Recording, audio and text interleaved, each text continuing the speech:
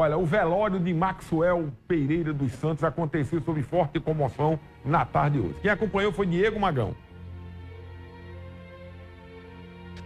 Familiares e amigos se reuniram em um memorial que fica na BR-230, em Cruz do Espírito Santo, para prestar suas últimas homenagens ao jovem. Maxwell Pereira dos Santos, estudante de 23 anos, que foi vítima de um homicídio chocante na manhã desta segunda-feira. Maxwell saiu da sua casa no bairro do Alto do Mateus para uma caminhada matinal. Felizmente, a tranquilidade dessa rotina foi interrompida de uma forma trágica quando ele foi alvo de um ato de violência sem sentido. Familiares e amigos prestaram a última homenagem e destacaram a generosidade, ele com os amigos e também a dedicação em relação aos estudos. Durante a cerimônia, o clima era de profunda tristeza, mas também de união, solidariedade e apoio mútuo. Entre lágrimas e abraços, as pessoas buscavam consolo uns aos outros, compartilhando histórias sobre Maxwell e expressando gratidão por tê-lo conhecido. Não justificativa nenhuma, nenhuma, nenhuma, nenhuma.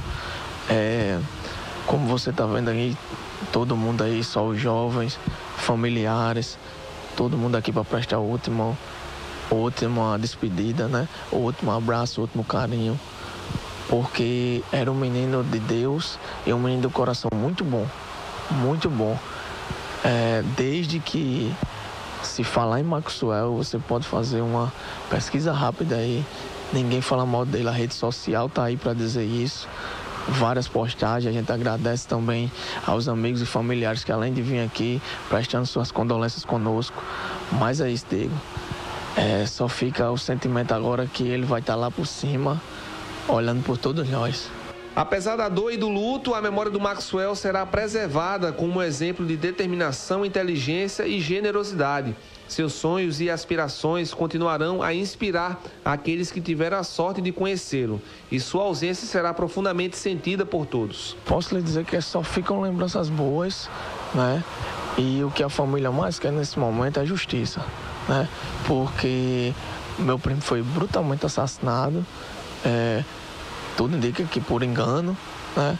Mas a gente pede que as autoridades não deixem esse caso passar impune, que não seja mais um e que os culpados por esse crime possam ser encontrados. É, não tem nada na ficha desse cidadão que desabone ele, muito pelo contrário. Será que foi erro de alvo mesmo? Foi logo hoje cedo pela manhã, recebi, terminando rota, chegou a informação de esse homicídio no alto de próximo ao campo de Campão, o campo lá, tá bom?